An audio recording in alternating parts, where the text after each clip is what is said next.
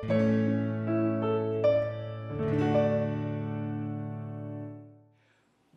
I first heard that the crisis of the coronavirus would affect the gathering of our church on Sundays, my initial thought was to keep things as normal as possible.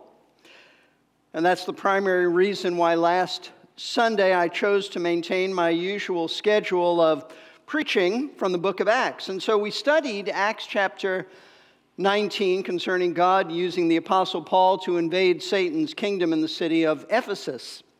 And in the evening service, I preached as I normally would from 1 Corinthians. However, this week I've decided to do something different. In light of this ongoing crisis, I want to bring to you a message appropriate for the unusual days that we are living in.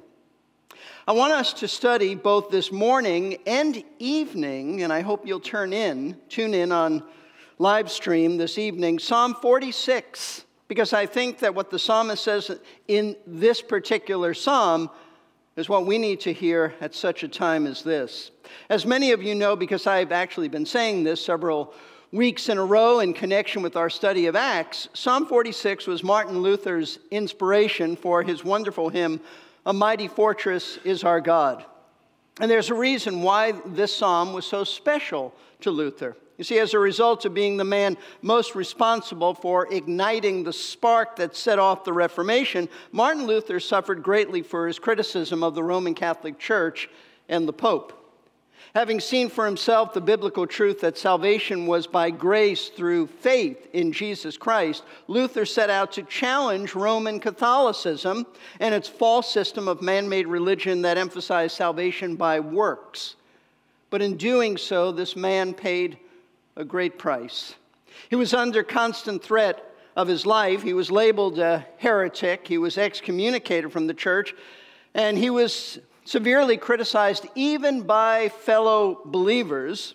And he was forced to defend his beliefs more than any other man of his generation. And all of this took its toll on Martin Luther. As Steve Lawson, in his commentary on the Psalms, points out the year 1527 was a particularly difficult one for the reformer. Lawson explains what Luther faced during this very trying year. He writes, and I quote, after 10 demanding years of leading the Reformation, a dizzy spell overcame him in the middle of a sermon on April 22nd of that year, forcing him to stop preaching. Luther feared for his life. On July 6th, while eating dinner with friends, he felt an acute buzzing in his ear and lay down, again convinced he was at the end of his life. He partially regained his strength, but a debilitating discouragement set in as a result. In addition, heart problems and severe intestinal complications escalated the pangs of death. What was worse, the dreaded Black Plague had entered Germany and spread to Wittenberg. Many people fled, fearing for their lives, yet Luther and his wife Katie remained, believing it was their duty to care for the sick and dying. Although Katie was pregnant with their second child, Luther's house was transformed into a hospital where he watched many friends die. Then, without warning, Luther's one year old son, Hans, became desperately ill. End of quote. Now, as a result of all of these trials upon him, Luther turned to the Lord with renewed a renewed sense of urgency, seeking refuge in God as his helper and as his strength. And it was during this time that Psalm 46 became so precious to him, so much so that he decided to turn the theology and the message of this psalm into the hymn that we know today as a mighty fortress is our God. It's one of the most familiar hymns of the faith, but just knowing something of the context out of which this hymn was written, I think it helps us to gain a greater appreciation for the meaning of the words. I want you to listen to the first and second stanzas of this hymn and imagine the great comfort and the great strength it gave Martin Luther as he battled discouragement and fear during those very dark days. A mighty fortress is our God, a bulwark never failing. our helper, he amidst the flood of mortal ills prevailing. For still our ancient foe doth seek to work us woe. His craft and power are great, and armed with cruel hate, on earth is not his equal.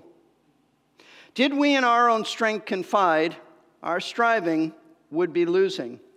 We're not the right man on our side, the man of God's own choosing. Just ask who that may be Christ Jesus. It is He.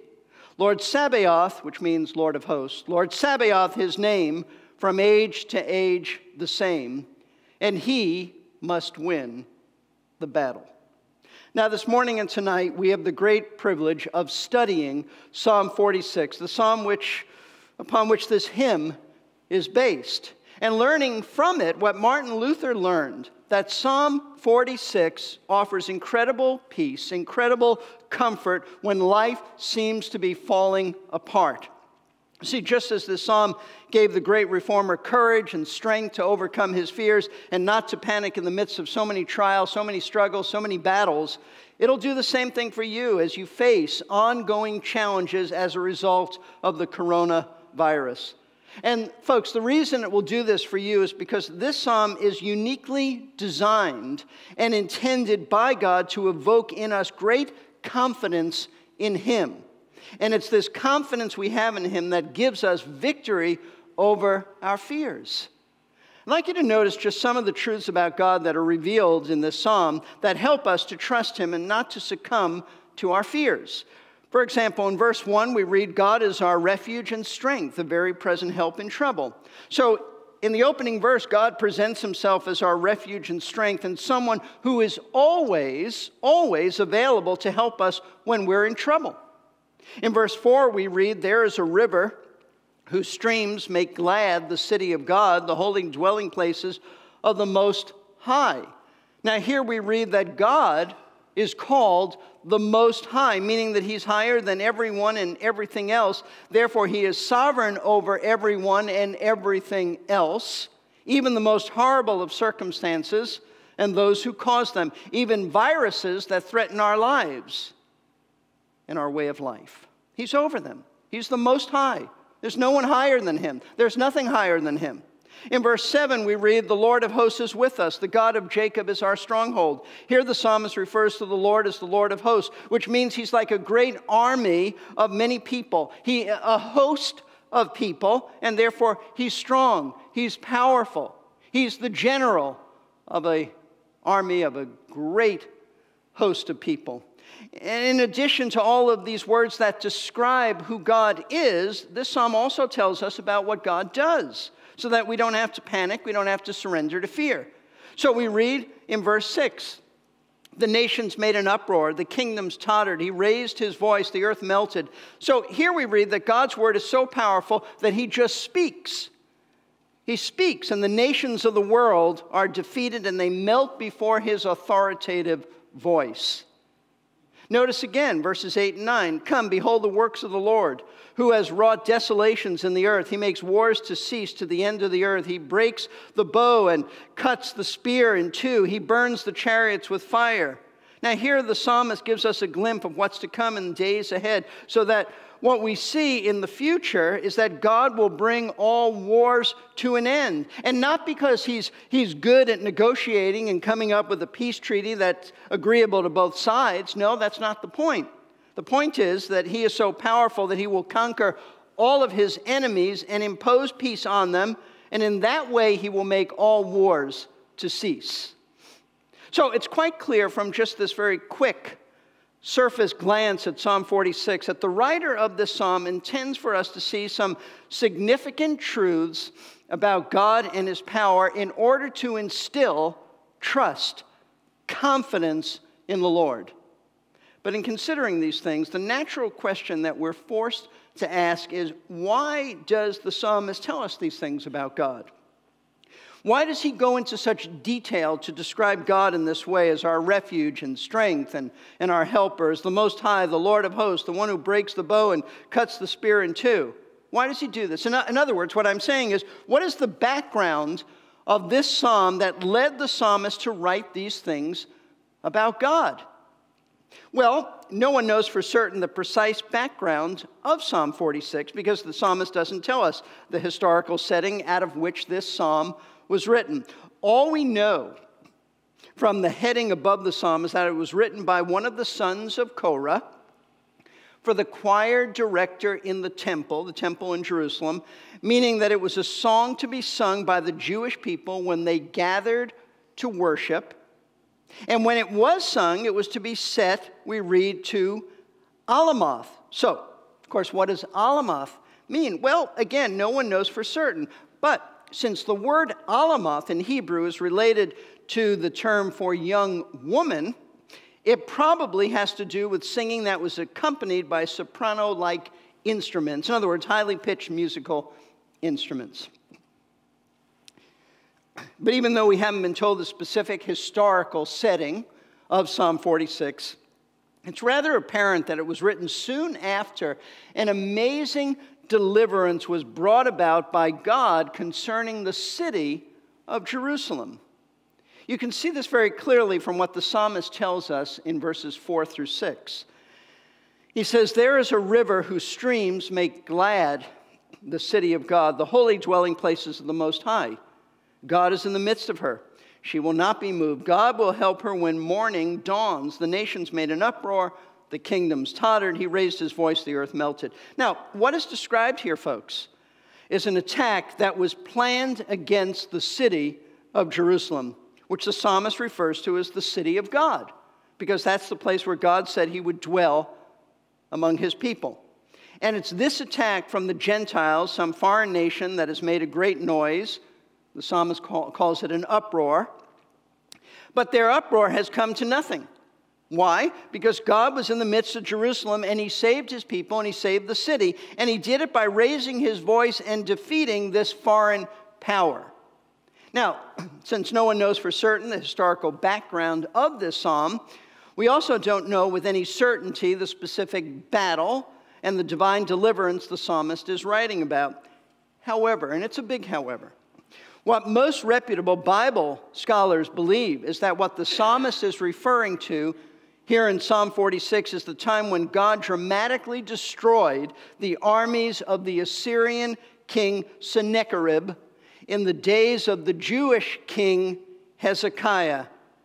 That's found in 2 Kings chapters 18 and 19. And the best evidence for this is that the prophet Isaiah used similar language as the psalmist uses in predicting the overthrow of Sennacherib's army. Now, why is this significant? Because if you recall from the story that's told in 2 Kings 18 and 19 about the Assyrian army coming against Jerusalem, the situation facing the people of that city looked absolutely terrifying and absolutely hopeless. We read that Sennacherib sent to Jerusalem his field commanders who stood before the walls of the city and called out to the leaders of Judah as well as to the people they called out that they are to surrender because they had no chance against this powerful army. Remember, this was at that time the greatest empire and army in the world. In fact, their, their words were absolutely bone chilling.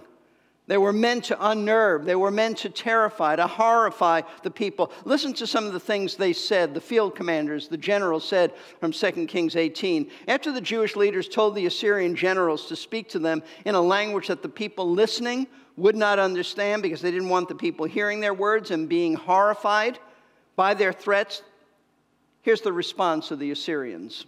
Verse 27 But Rabshakeh, said to them, Has my master sent me only to your master and, and, and to you to speak these words, and not to the men who sit on the wall, doomed to eat their own dung and drink their own urine with you? Then Rabshakeh stood and cried with a loud voice in Judean, saying, Hear the word of the great king, the king of Assyria. Thus says the king, Do not let Hezekiah deceive you, for he will not be able to deliver you from my hand. Nor let Hezekiah make you trust in the Lord, saying, The Lord will surely deliver us, and the city will not be given into the hand of the king of Assyria. Do not listen to Hezekiah, for thus says the king of Assyria Make your peace with me, and come out to me and eat each of his vine and each of his fig tree, and drink each of, his, of the waters of his own cistern until I come and take you away to a land like your own, a land of grain and, and new wine, a land of bread and vineyards, a land of olive trees and honey, that you may live and not die. But do not listen to Hezekiah when he misleads you, saying, The Lord will deliver us. Has any one of the gods of the nations delivered his land from the hand of the king of Assyria? Where are the guards of Hamath and Arpad? Where are the gods of Sepharvaim, Hena, and Ivvah? Have they delivered Samaria from my hand? Who among all the gods of the lands have delivered their land from my hand that the Lord should deliver Jerusalem from my hand? Chilling words. Now, essentially, what he was saying is that it's no use for your king to pray to your God because God is not going to help you. None of the gods of the other nations that we conquered helped them, and your God is too weak also to help you. So if you don't surrender to us, you're going to starve to death so that you'll turn to eating your own dung, drinking your own urine just to survive. Folks, these are horrific words. Words that were intended to emotionally destroy and crush the spirits of the people, to put panic, to put fear into their hearts. And in response, the scriptures tell us that Hezekiah, the king of Judah, prayed to the Lord for deliverance, and God answered his prayer through the prophet Isaiah by telling him that Sennacherib's army would not attack Jerusalem and that the city and the people would be spared. And God fulfilled his word in a very dramatic and a very remarkable way. We read in 2 Kings 19, starting in verse 32. Therefore, thus says the Lord concerning the king of Assyria He will not come to the city or shoot an arrow here. He will not come before it with a shield or throw up a siege ramp against it. By the way that he came, by the same he will return, and he shall not come to this city, declares the Lord. For I will defend this city to save it for my own sake and for my servant David's sake. Then it happened that night that the angel of the Lord went out and struck 185,000 in the camp of the Assyrians. And when men rose early in the morning, behold, all of them were dead. So Sennacherib, king of Assyria, departed and returned home and lived at Nineveh. So, what we read here is that God did defend the city of Jerusalem by killing 185,000 Assyrian soldiers with some type of plague that took their lives in just a matter of hours. Now, folks, the reason this is important for us to, to see the situation that Jerusalem faced is because the writer of Psalm 46 appears to take this very terrifying situation to teach us the great truth that when we face our own worst imaginable situations, we don't have to be fearful. We don't have to panic. We don't have to be alarmed because God, the God of Jacob, is there to help us. And He alone is who we should seek to protect us and to strengthen us. See, the message of this psalm is that there is no reason to ever be afraid. Not if you know the Lord, because no matter what calamity might come upon you, God is very present. He's a very present help in your time of trouble, whenever that trouble and whatever that trouble might be. In other words, a mighty fortress is our God. And He is always available to help His people so that when you are tempted to be afraid, you can run to Him anytime and find shelter in Him. Now, this psalm and the truths it teaches are critically important for us to know, especially in these days of uncertainty, because fear is something we all struggle with. And Psalm 46 tells us how to deal with our fears in addition to the many fears that, listen, we, we ordinarily, under, under the best of circumstances, we tend to struggle with fears concerning our health, fear of having enough money, fear about losing our jobs, job security. All these things still exist, and they loom even larger because of the threat of this virus and the global upheaval that it's brought. Well, fear is a very real temptation for us, but listen, whatever fears you might have. The answer to them is found in Psalm 46 because it's in this psalm where we are taught why we don't ever need to be afraid.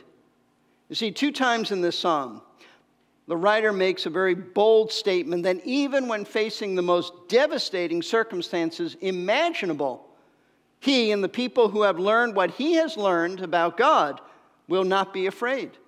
This is a bold declaration by this man. First, in verse 2, he says, Therefore, we will not fear. And then in verse 5, he says concerning the people of Jerusalem, We will not be moved. In other words, we will not be afraid and we will not be shaken and we will not tremble and we will not be unnerved, regardless of what we face, regardless of how bad things may look or get. But listen closely, because behind these bold statements about being fearless and unshaken, the writer of the psalm tells us why we don't need to fear and why we don't need to tremble and panic when the world around us is collapsing. That is to say, he gives us some very solid, very tangible reasons as to why you and I don't need to be afraid of anything, even the most devastating of circumstances. And these reasons for being fearless are presented in this psalm in the form of three truths about God designed to eliminate our fears.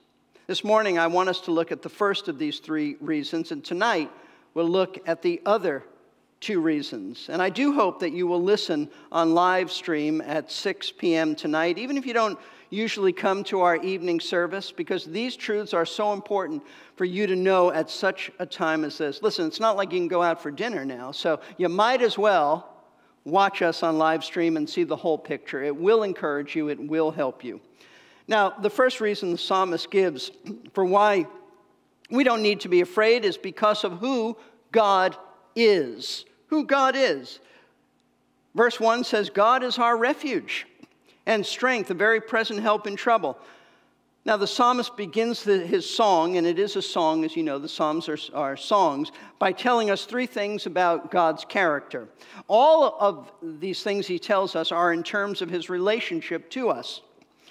First, he tells us that God is our refuge, which means that he is the one who shelters us from danger. He is our protection, or as Martin Luther put it, He's our mighty fortress. In other words, He's the one we are to run to when we find ourselves in trouble. In fact, the Bible says that running to the Lord when we are in danger, finding our security in Him, that's one of the things that characterizes true believers. And it distinguishes us from unbelievers. I say that because of Proverbs 18, verse 10. There we read, The name of the Lord is a strong tower. The righteous runs into it and is saved. The righteous is just a, a synonym here for believer. A believer runs into it and is safe. The inspired writer says that when a believer is in trouble, his normal response is to immediately turn to the Lord and to trust Him, casting his care upon Him. This isn't the way non Christians face danger. Notice the very next verse in Proverbs 18, verse 11, which gives us the contrasting behavior of a wealthy unbeliever. We read this A rich man's wealth is his strong city, and like a high wall in his own imagination. In other words, while believers run to the Lord and we put our trust in Him and we find in Him all for our security, unbelievers don't do that. They put their trust in, in their wealth or some other item, imagining that it will protect them from danger. But it's only in their imagination that this is the case. It's not real because it never does protect them or give them true security. So God is our refuge to protect us. He's someone we run to, someone we find our safety in and our security in Him. Secondly, the psalmist tells us that God is also our strength, meaning that He's the one who gives us our strength. He's the one who enables us to go through the trials of life. The Apostle Paul said that he could do all things through Christ who strengthens him. See, God alone is the one who gives you the inner strength you need to endure even the worst of circumstances, the worst of tragedies. I can't tell you how many times I've heard Christians in the midst of some tragedy say, I don't know how any non Christian goes through something like this. And it's true. Believers go through tragedies by the enabling grace that God gives them. But unbelievers don't have that grace because God is not their strength, and so they just try to cope with things as, as best they can. So, God is our refuge who protects us, and He is our strength who enables us to withstand the fiery trials of life. Third, the psalmist tells us that God is a very present help in trouble. And by trouble, he's referring to being in a situation where you can see no way out. And I say that because the Hebrew word for trouble, it means cramped. It means narrow. It means restricted. It means to be put in a narrow, confined space with no way to really get free. The way we would put it today is something like this it's being between a rock and a hard place, or being in a tight squeeze. And the comfort for every Christian is that when we find ourselves in one of these tight binds, we can rest in the fact that God is there to help us because He is a very present help, meaning He's always available to help us whenever we are in trouble. This is precisely what the writer to the Hebrews was referring to when he said in Hebrews chapter 4 verse 16, "Therefore let us draw near with confidence to the throne of grace so that we may receive mercy and find grace to help in time of need." There's never a time that God isn't available to help you. Never. Always available. This is who God says he is. He's our refuge. He's our strength. He's our helper. But the question is are you applying these truths to your life? See, it's very easy to forget and, and fail to apply these truths about God when we're going through a crisis, isn't it? Very easy. It's so natural to act like unbelievers act by putting our security and our faith in all kinds of human devices and substitutions, like our bank accounts, our retirement funds, our ability to think our way through jams, out of jams, our, our resourcefulness, our physical strength, our intelligence, but all of these things will always fail us because they just can't protect you from disasters. Nor can they give us strength in a crisis, nor can they help us when we're in a tight bind. And those who think that these things can accomplish all of that, you're just being delusional. You're deceiving yourself. Even our government, as hard as they are trying to protect us from the spread of this virus, and we ought to listen to them and follow their directives, still, they must not be the object of our faith or our security. That alone is reserved for God, because He alone must be our refuge, our strength, our helper. In addition, one may know these truths about God and heartily agree with them without personalizing them. I suspect that this is true of many of us. See, it's one thing to affirm it, to affirm that in a theological, it's theologically correct or in a theological context, that it's right to say that God is our refuge, our strength, and our helper. But it's quite another thing to affirm this by putting into practice that He is your refuge, your strength, your helper concerning this tendency to believe these truths about God in, in sort of a detached and impersonal way, merely in a theoretical manner, the noted preacher Charles Spurgeon said this. He said, Forget not the personal possessive word our. Make sure each one, each one that you say, He is my refuge and strength. Neither forget the fact that God is our refuge just now in the immediate present, as truly as when the psalmist penned the word. God alone is all is our all in all. All other shelters are shelters of lies. All other strength is weakness, for power belongeth unto God. But as God is all sufficient, our defense and might are equal to all emergencies. Good words by Charles Spurgeon. Third, it isn't enough to know that God is available to be your refuge and strength and helper. You must make a conscientious effort to relate to Him as your refuge, your strength, and your helper. In other words, you must seek Him in the midst of this crisis, turning to Him in prayer, trusting Him to protect you, strengthen you, help you. This is why Proverbs 18, verse 10 says, The name of the Lord is a strong tower. The righteous runs into it and is safe the righteous runs to the Lord as quickly as possible because he knows that only in the Lord is there safety and true, genuine security. So, my question to you is Are you doing this? Are you running to him these days, spending time in his word, fervently praying to Him for His grace, casting all of your cares upon Him, casting all of your fears upon Him. That's what you must do. That's what God wants you to do. And if you do this, you will experience, folks, the reality of what this psalm tells us about God. That He's the one you can turn to and find shelter from this present danger. That He's the one who will give you strength to face this crisis. That He's the one who will help you in the tightest of fixes when all human solutions fail. See, what the psalmist is concerned about is that this wonderful information that he's given us about God, he's concerned that it be applied and be a living reality to those who read his words, so that when we do face a crisis, we will turn to the Lord and respond to him as our refuge, strength, and helper. It becomes evident that this is the psalmist's purpose in telling us these truths about God because of what he says next. Notice verses 2 and 3. Therefore, we will not fear, though the earth should change and though the mountains slip into the heart of the sea though its waters roar and foam, though the mountains quake at its swelling pride, Selah. Now, based on what, what he's just told us about God, the psalmist makes an incredibly bold conclusion. Here's his conclusion Therefore, as a result of knowing these truths about God, we will not fear. And then he gives a picture of a worst case scenario in which an earthquake of historic proportions comes and wipes out entire mountains so that they come crashing down into the sea, causing the waters to roar and foam with tidal waves.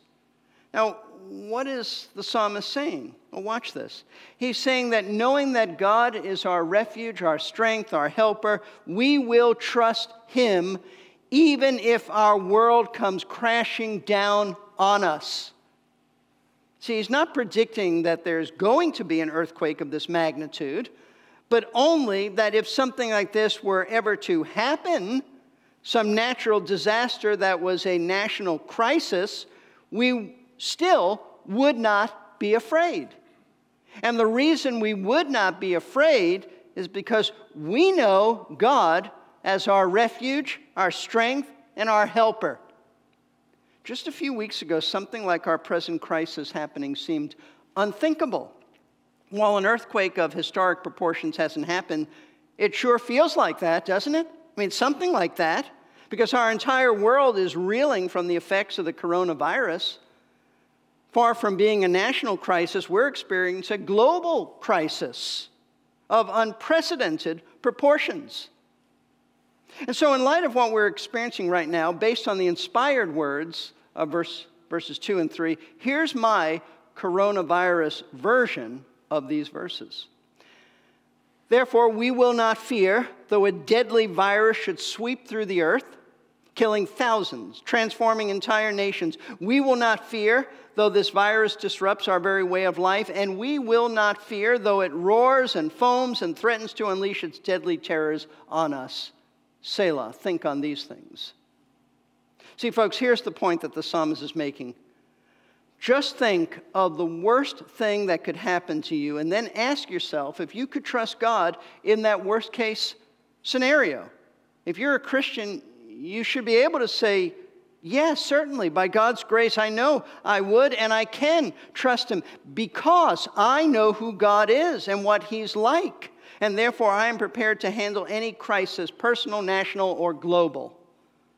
And the reason you're prepared for the worst imaginable crisis is because you know that you can trust God to protect you, to give you His strength, to, to help you in the tightest of squeezes. In other words, if your world ever fell apart, you are prepared not to fall apart because your trust is in the Lord. What we have to keep in mind is that God is greater than the forces of nature.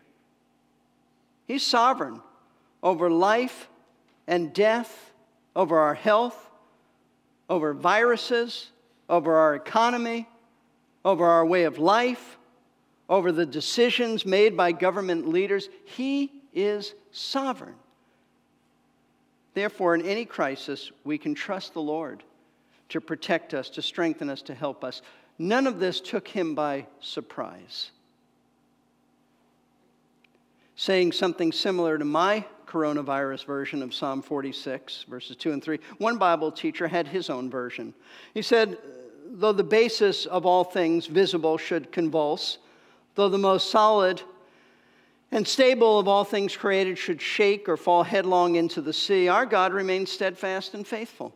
There is no earth, earthquake of any sort, whether natural, moral, physical, financial, or spiritual, that can shake us out of his loving arms.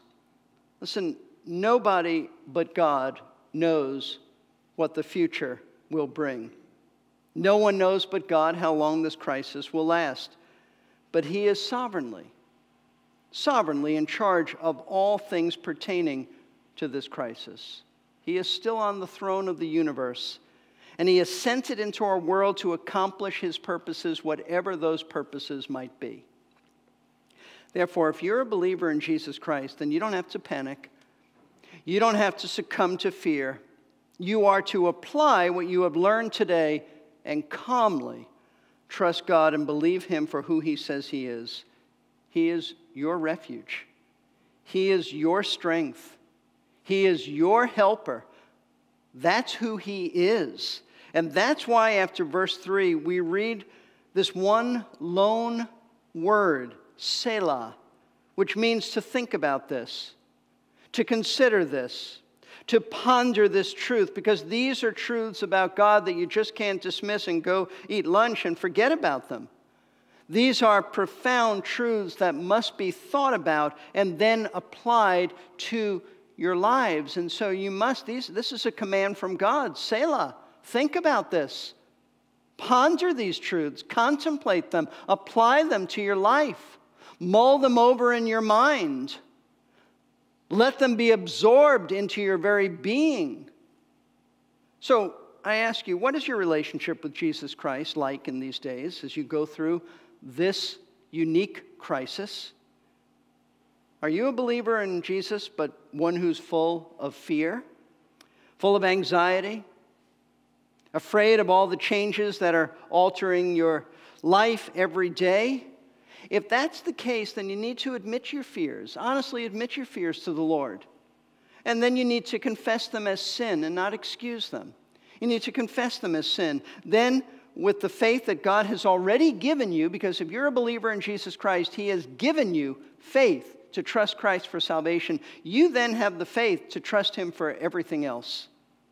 You need then to cast all of your cares, all of your concerns on Him. Start looking to Him as your refuge, your strength, your, your helper. Folks, this is what you must do. This is what you must do. It is a sin to worry, it is a sin to not trust the Lord.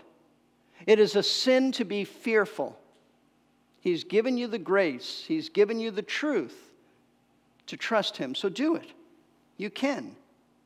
But if you do not know Christ personally as your Savior, your Lord, then fear is very likely your way of life these days, and it's very reasonable for you to be fearful. But you don't need to be, because the Lord can be your refuge, He can be your strength, He can be your helper too. And He will become this to you, but you first have to run to Jesus Christ for eternal salvation. Because He offers to be your refuge from something far more dangerous than the coronavirus. He offers to be your refuge from the eternal wrath and judgment of Almighty God because of your sins. This is why Jesus died on the cross. He was judged by God the Father in, in, in place of those who would believe in Him for salvation. So believe in Him, which means trust Him, put your confidence in Him, rely upon Him and His substitutionary death as the sole basis for your salvation from God's judgment. Flee the Bible says, from the wrath to come by running to Christ as your refuge from the fury of his wrath and judgment. I'm going to pray in just a few moments. Joel is going to come to close us in a wonderful song that that I hope will encourage you. But before he does, I, I, I want to urge you again to tune in to tonight's live stream at 6 p.m. because we're going to fill out this psalm. You're going to see it in its fullness. There's much more to go in this. It'll be, it'll be a great comfort to you, it'll great, be a, of great encouragement to you. It will give you peace to see all that God has said in this psalm. There is a reason why Martin Luther was so taken up and taken by this psalm. It'll have the same effect on you. Will you join me in prayer? Father, we thank you. Thank you for what your word says, Lord. Your word is settled in heaven, and no virus can disrupt it. No government rule can change it. Your word is settled. You are our refuge, Lord. You are our strength. You are our helper. We thank you that you change not. We thank you that great is your faithfulness. Lord, I pray for our people who are isolated from each other, but not isolated from you. I pray that what has been taught to them this morning will be taken and absorbed into their very, the very fiber of their thinking and will transform the way they think by renewing their minds, and they will find that, that these truths are truths that they apply to their lives. I pray, Lord, for great comfort great encouragement to come to our people, the Lakeside family. And I pray, Lord, with the contacts, whatever contacts we have with the outside world, with unbelievers, help us to demonstrate that we are trusting in you, that we have great peace, that we are rejoicing, even giving thanks in the midst of all of this. For, as you said, to give thanks in Christ Jesus, that is your will in Christ. So, Lord, we thank you for in the midst of all this that you'll accomplish your purposes in all of this. We pray that you'll draw those who are watching who do not know Christ, draw them to yourself that they might come to the end of themselves and come running to Christ for salvation. This we pray in Jesus' name. Amen.